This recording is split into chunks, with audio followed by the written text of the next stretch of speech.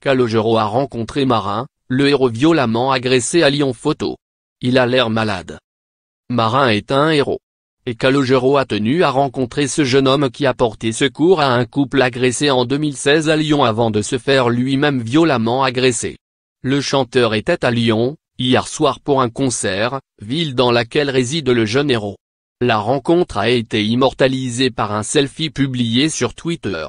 Calogero écrit, Les amoureux, c'est notre liberté. Et c'est cette liberté que Marin a voulu défendre. J'ai rencontré un héros hier soir, leçon de vie et d'ajouter, merci Marin.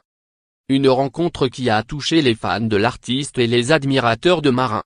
Bel hommage à ce jeune homme et encore une fois plus jamais ça, merci à Calogero officiel d'avoir accordé de votre temps et de votre considération à ce jeune homme dont la vie a été si injustement brisée, écrivent quelques internautes.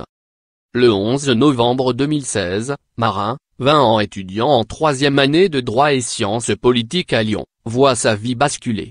Témoin d'une agression sur un couple qui échange un baiser, il décide de s'interposer et de prendre la défense du couple. Le ton monte, Marin et sa petite amie préfèrent se réfugier dans un bus. L'agresseur, un jeune homme de 17 ans, frappe l'étudiant avec sa béquille. Trois coups sur la nuque d'une rare violence.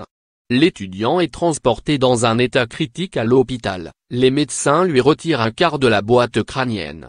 Il plonge dans le coma et ouvrira les yeux 11 jours après son agression et gardera des séquelles à vie de ce jour de novembre 2016.